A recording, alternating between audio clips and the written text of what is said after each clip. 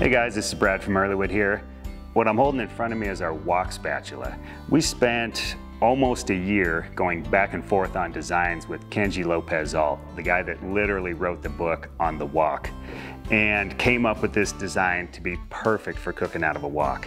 There's a number of things about it that came from him that make it so great. First of all is its length. It's 16 inches long, and if you have cooked in a wok, you know you want them super hot when you cook in there. So there could be oils and things splattering out that are super hot. So at 16 inches, it keeps you a long ways from getting hit by that stuff. The standard wok size, kind of a run-of-the-mill wok size, is a 14 inch wok. And we designed this corner here to exactly fit in a 14 inch wok.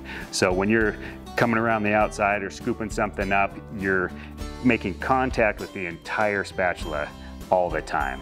So it's great for moving stuff around quick when it's that hot and it's got a huge surface area here so you've got plenty of front there to pick things up and serve right out of the wok.